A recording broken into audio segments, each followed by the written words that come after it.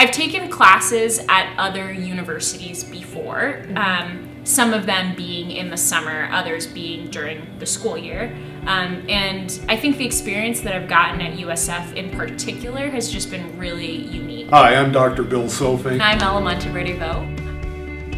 So I had finished my undergrad somewhere else, um, and in moving to Sioux Falls, recently decided I wanted to apply to graduate school.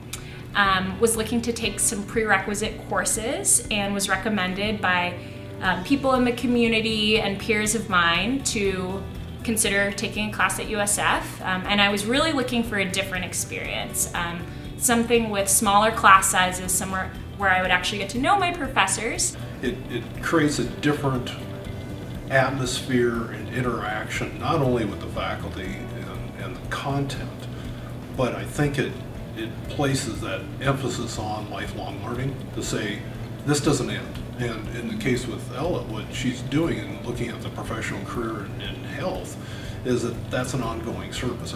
I just find that summer courses allow you to kind of hone in and really focus on one area of study. I love the eclectic group of people you get in summer courses. Um, there's people from all walks of life, whether they're you know in their first year or second year of schooling here at USF as a traditional student, or you get non-traditional students like me. Well, this summer I'm going to be teaching uh, a number of different courses: human anatomy, human physiology, and microbiology. Staff and faculty that really care about you as an individual, like in the moment, but also what your future career interests are. Um, and these are people who are like really devoted to helping you grow as a person.